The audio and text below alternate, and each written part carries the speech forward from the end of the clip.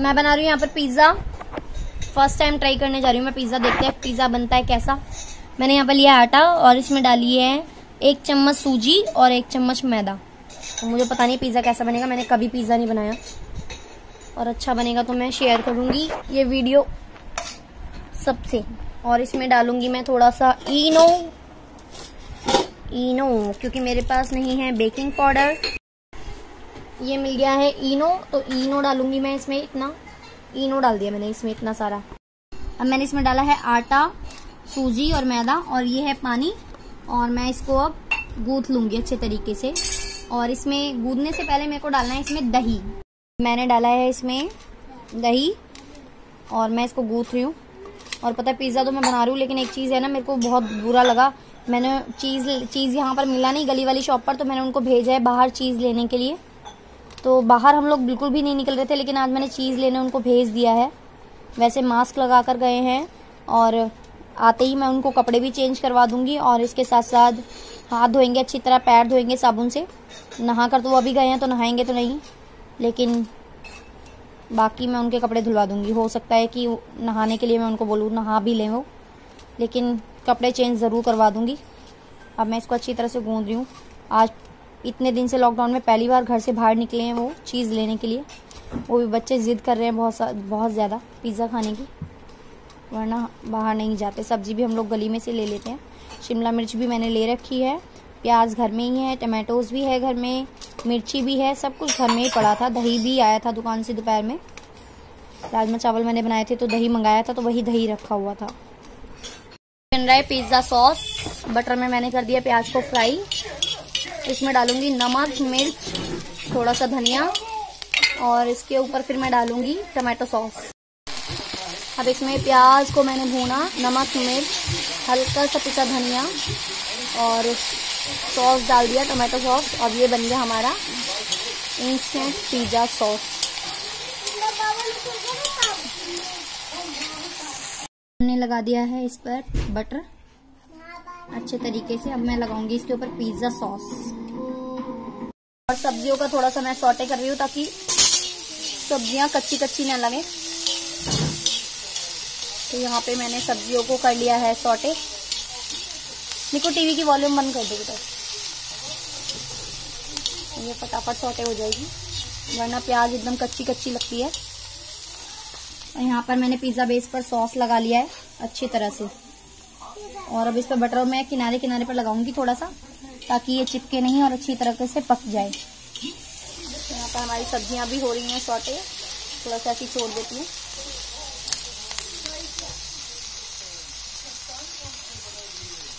यहाँ पर मैंने चीज़ अच्छी तरह से इस पर डाल दिया है। हाथ भी खराब हो गए मेरे।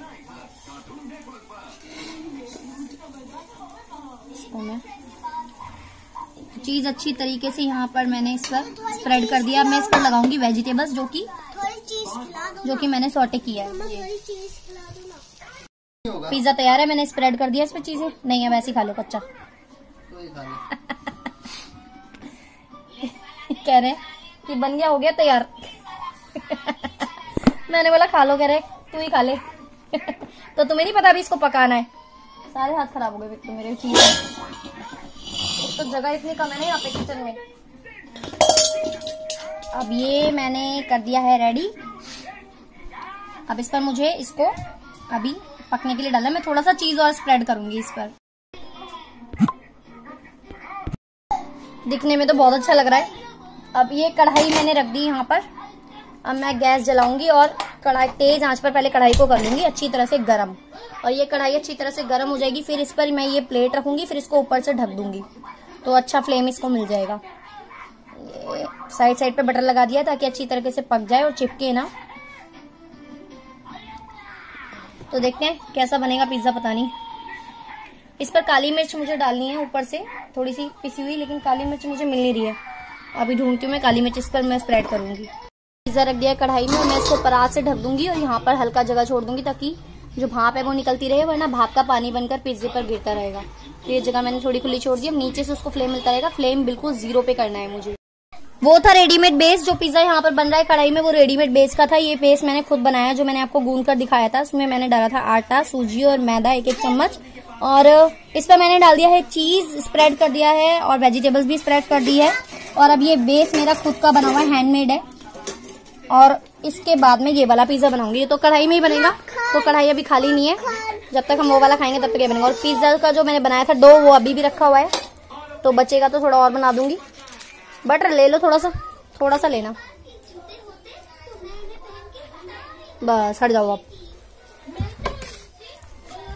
और इसके बाद यहाँ पर मैं थोड़ा सा मसाला डाल दूँगी, मसाला स्प्रेड करूँगी। ये है थोड़ा सा चाट मसाला, हल्का सा।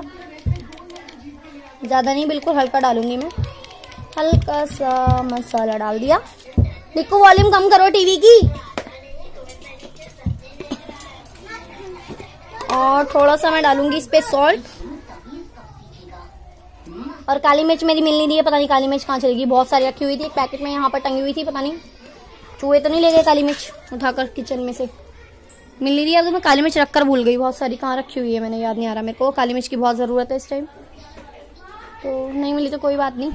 चलो पिज़्ज़ा जब ये वाला बन जाएगा, तब मैं आपको निकाल कर दिखाऊँगी बन रहा है कढ़ाई में, एक बन रहा है तवे पर तो मैं तवे वाले को ढक देती हूँ इस तरीके से, ऐसे। इसको इससे ढक दूँगी मैं, और फिर पकाएँगे। पिज्जा पक चुका है पूरी तरह से। अब हम इसको निकाल लेंगे। निकाले कैसे इसको? चिमटे से निकल जाएगा? चिमटे से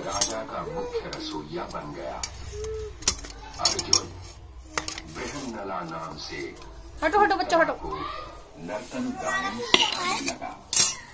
ये देखो पिज्जा। पिज्जा कैसा बना निकू? टेस्टी? कितना टेस्टी? और काव्या तुझे कैसा लगा? अच्छा। गंदा लगा। इसको गंदा लगा? तुम्हें कैसा लगा? इसको पसंद ही नहीं है मार्केट में भी नहीं खाती पिज्जा है ना? कुछ नहीं खाती तू मार्केट में भी नहीं खाती वेजि, वेजिटेबल निकाल के फेंक देती है। बस वो खाती है पिज्जा बेस ये पिज्जा मैंने बनाया फ़र्स्ट टाइम जो कि बहुत ज़्यादा टेस्टी बना। बच्चों को भी अच्छा लगा मुझे भी सबको अच्छा लगा। अच्छा लग रहा है। अच्छा निकाल देती हूँ। और बहुत ही इजी था, मैंने फ़र्स्ट टाइम बनाया, इससे पहले मैंने कभी पिज़्ज़ा बनाया नहीं है। और पिज़्ज़ा बेस मैंने खुद भी बनाए थे और एक पिज़्ज़ा बेस मैं लेकर आई थी। मैंने कहा कि जो मैं खुद बना रही हूँ, क्या पता वो अच्छा ना हो, खराब हो जाए सारा मेरा पिज़्ज़ा तो कम से कम बच्चे एक पिज़्ज़ा तो खा लेंगे ना तो पिज़्ज़ा बेस एक में लेकर भी आई थी और बाकी मैंने जो है वो आ, खुद बनाए थे। तो जो खुद बनाए थे वो भी बहुत ज़्यादा टेस्टी और यमी बने। और जो बाहर से पिज़्ज़ा बेस लेकर आई थी वो वाला पिज़्ज़ा भी बहुत अच्छा बना। तो आप भी ये रेसिपी देखिए ट्राई कीजिए। अगर आपके घर में अवन है तो बहुत अच्छी बात है। अवन से बन जाएगा। और अवन नहीं भी है कढ़ाई है तवा है तो किसी से भी आप आराम से ये पिज़्ज़ा बना सकते हैं। पिज़्ज़ा कैसा बना था काव्या? क्या पता? तूने खाया नहीं? पता खा के पता नहीं चला कैसा लगा? अच्छा नहीं लगा? अच्छा लगा लेकिन मुझे क्या पता? कह रही अच्छा लगा लेकिन मुझे क्या पता? टेस्टी नहीं लगा? लगा लेकिन मुझे क्या पता? ये कैसा जवाब है? कह रही है टेस्टी लगा लेकिन मुझे क्या पता? निक्कू पिज्जा कैसा लगा? निकू को पता है निक्कू को बहुत पसंद आया अच्छा है वो कह रहा है मुझे डोमिनोज में भी अच्छा लगता है मुझे यहाँ पे भी अच्छा लगता है। मैगडी नहीं बेटा डोमिनोज में मिलता है पिज्जा भूल जाते हो। पता नहीं आजकल फेस पे व्हाइट व्हाइट सा क्या लगने लगा है मुझे। आपको भी दिख रहा होगा। ऐसा लगता है कहीं कहीं पे व्हाइट व्हाइट हो रहा है। क्या चीज़ है? समझ नहीं आ रहा मुझे। या फिर वेदर चेंज हुआ है एकदम से इसलिए हो रहा है। तो पिज़्ज़ा ट्राई कीजिए बनाइए। कैसा लगता है? है हम्म। तो आप भी इसी रेसिपी से पिज़्ज़ा बनाइए और कैसा लगा मुझे बताइएगा। कमेंट करके ज़रूर।